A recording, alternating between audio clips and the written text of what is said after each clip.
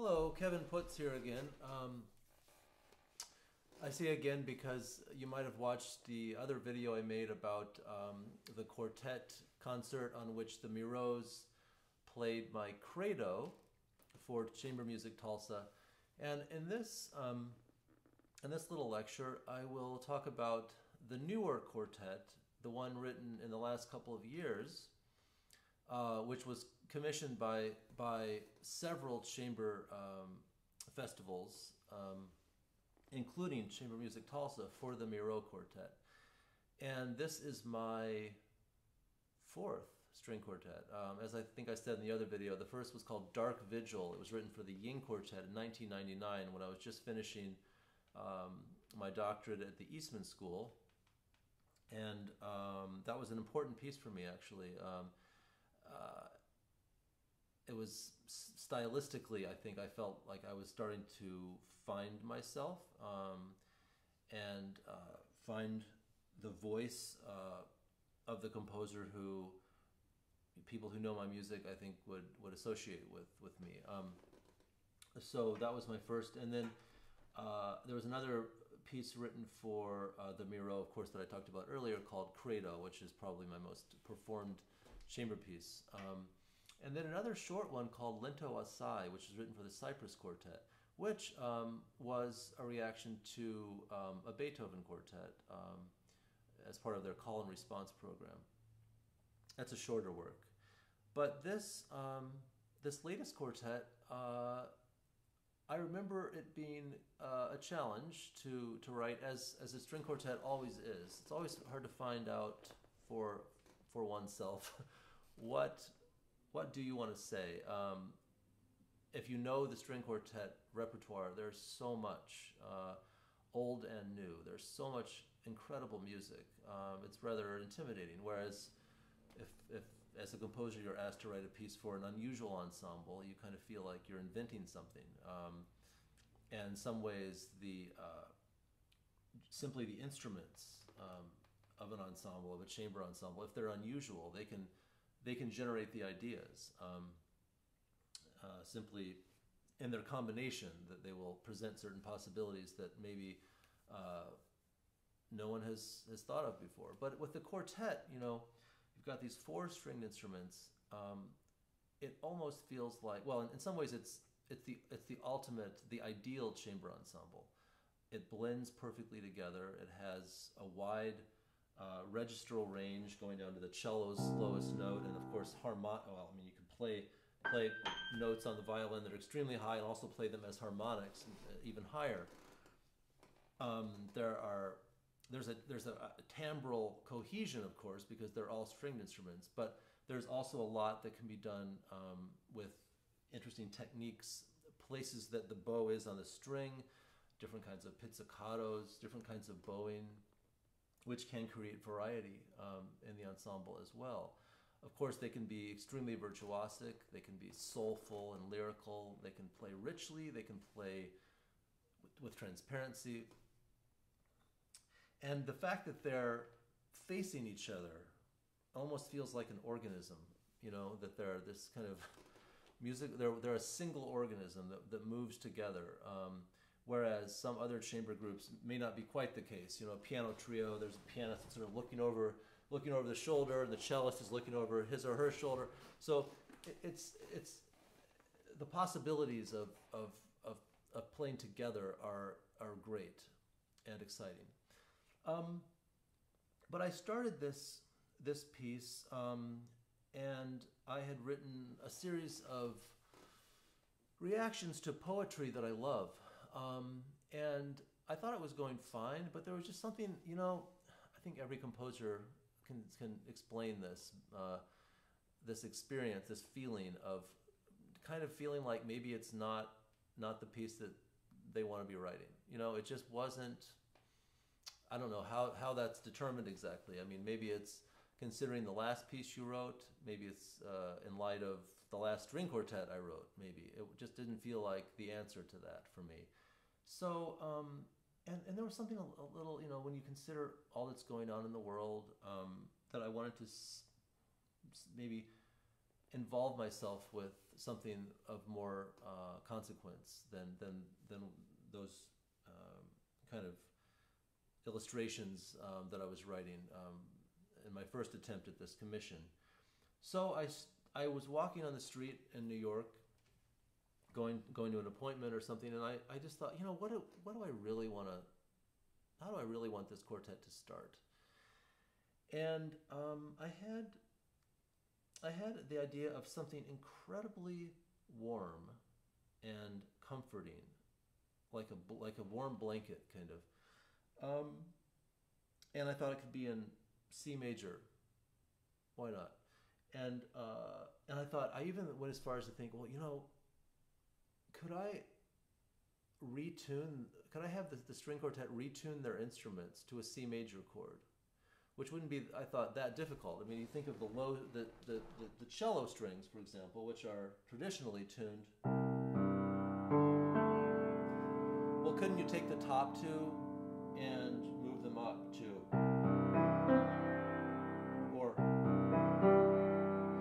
Viola is tuned in the same way but an octave higher, so that would be easy.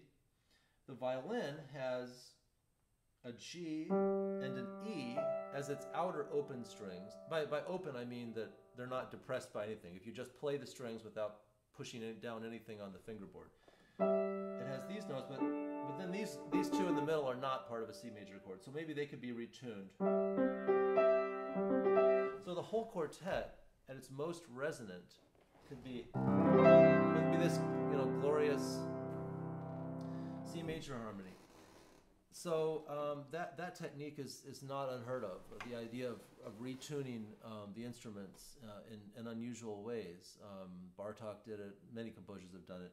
Uh, it's called scordatura. That's the the Italian term that that's used for it. And um, I consulted with the the guys in the Miro Quartet, and they were all game for it. So I wrote this piece. I started this piece. I'm just going to tell you a little about this, and then I'll get into the actual music. Um, I started with this in mind, and it became one of the most challenging uh, projects of, of my life, and I think probably for the quartet as well. Um, that the problem with, with doing this, with retuning the instruments, is that the quartet uh, needs to see the, the music in the way that they normally see it. So if they're used to playing uh, a certain fingering for this note, but the string on which they usually play that note has been tuned lower, um, then if they play the way that they're used to playing, the wrong note will come out. So I have to I had to adjust for that in the notation, which not to go into it too much is an unbelievably complicated, time-consuming and for the quartet, very frustrating uh, endeavor. Though they totally, with great nobility and um, and patience, played the premiere of the piece with this scordatura tuning. Um, my, my, the thought was that it will make the, the quartet resonate in a very different way, um, and to get into um, a discussion of, of what the piece is really about uh, I will now describe that to you. D- just in, in, short, though, um, I rewrote the piece using a standard tuning, which is what you will hear um, here at Chamber Music Tulsa. Uh, it, it's the it's the quartet is tuned as it's usually tuned in fifths, and uh, I think the piece works just fine that way. But my original idea was that this sonority of C major would be um, like home almost. It felt like home. In fact, that was the expression of this music that I imagined. I imagined very, very simple um, music with a, a, a, sustained C, which would be mostly open strings if, if this quartet was retuned. And so it would ring throughout the hall. And, and then the first violin plays.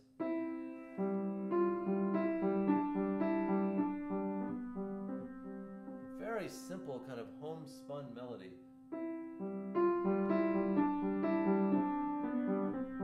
And then an octave higher.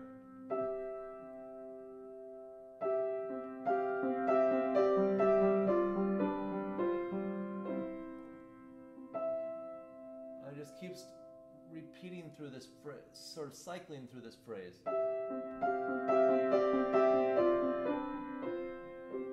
And then eventually there's um, there's a, an answering phrase. Um,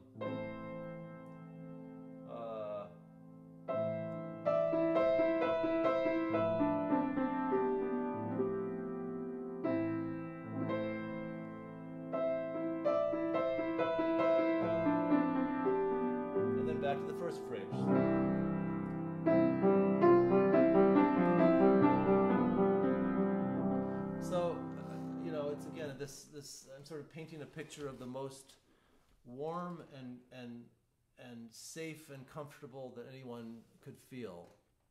And then, of course, you know, when you think of those associations for yourself, um, you think, uh, well, anyway, I was reminded of, um, you know, stories and and photos um, in the news of of uh, refugee families, um, uh, you know, sort of forced out of their countries uh, by the violence there uh, to find find some definition of, of home um, on foreign shores and you know cramped into boats and and just horrifying horrifying images that um, in my very privileged unbelievably privileged um, life have never experienced. Um, so of course I thought well I can would never uh, uh, uh, try to try to describe that or try to imagine that experience musically. It's not something that I'll ever, hopefully, ever have to to try and experience myself. Um, but maybe the the abstract idea, though, of of feeling um, unmoored and unsettled, and as if the ground has shifted under you, and um, that stability has has gone away is something that could be um, dealt with as a, as a theme in, in this piece. Um, so, so, yet I call the piece home, and um, the first section is pretty much the way I just played it. Um, very warm and rich. I wanted to make the quartet uh, sound almost like an octet, like there are more of them than there really are. And uh, one of the reasons I I knew that I could do that is because the the Miro Quartet is um, prides themselves on on this this just big rich uh, sound that every composer would love to to uh, you know be able to uh, count on. And so so it was really written with them in mind. Um, and that's that's pretty much what you hear in the first section. And then what I thought what could happen was that you gradually, it's like you're gradually moving out, venturing out from this um, stability. And so there's a, a transitional uh, section after the fir- the last time you hear this kind of, you know, homespun kind of phrase.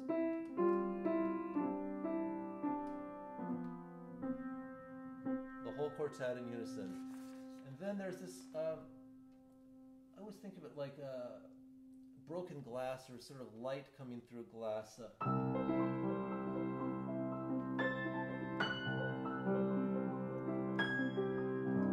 that's the kind of sound world. Harmonics and um, uh, harmonics and pizzicatos in the cello and um, a, a totally different texture from that which we heard in the first part, um, which still has C at the root but is starting to find its way away from it. And then there's a very uh, kind of aggressive um, agitato kind of phrase. Um,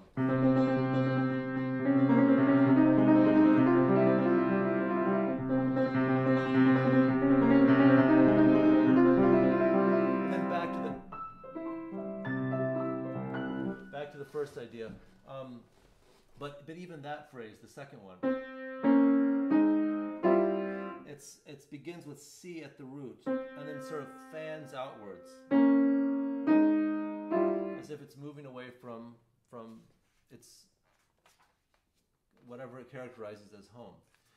Um, that music takes over um, eventually, and the middle part of the piece is is a very very fast. Um, not something I'm going to attempt to play, but it's um, in 12/8. It's a it's the the tempo marking is dangerously fast at the edge of playability, and again, it's like as different from the first section as possible. That was the the aim. So it's very fast.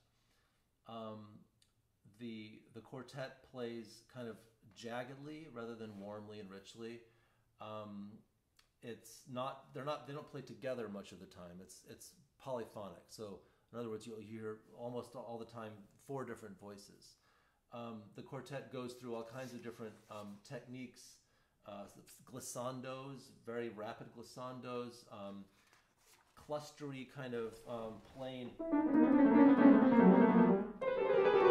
These kind of things that I heard when I was in, very young by Lutosławski, the Polish composer whose music I love.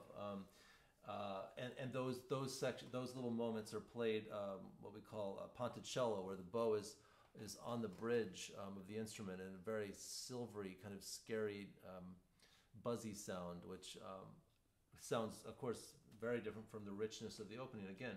Um, and uh, anyway, it's it's the, the, I would say that the middle section of the piece for the listener is supposed to be unstable, kind of harrowing um, and searching for a sense of stability. There are moments when it feels like there will be one.